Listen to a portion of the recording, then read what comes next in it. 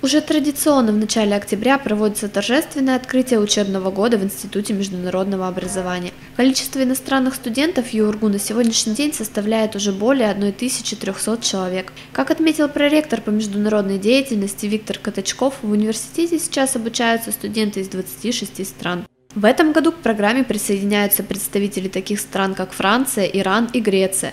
Главное нововведение ИМО – программа подготовки русских студентов по направлению международного региона ведения. Это одно из нововведений э, университета и Института международного образования, потому как ранее такой программы длительной включенного обучения пока в ВУЗе не было.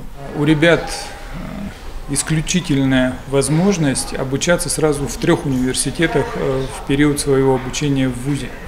Три года они будут обучаться в нашем университете, в Институте международного образования, осваивать программу и учебный план, утвержденный вузом – а один из годов своего обучения, это будет третий год обучения, они будут обучаться в вузах Китая. Студенты международного региона ведения за первый месяц учебы уже успели пообщаться с иностранцами и в свою очередь познакомить гостей города с русской культурой. И иностранцы такие замечательные люди, они тебя удивляют каждый раз.